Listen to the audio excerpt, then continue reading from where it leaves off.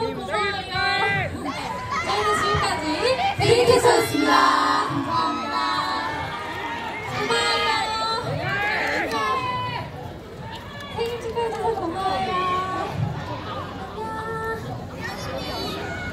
네, 아, 우리 드림캐쳐 분들에게 다시 한번 큰 박수 부탁드리도록 하겠습니다. 네, 좋습니다.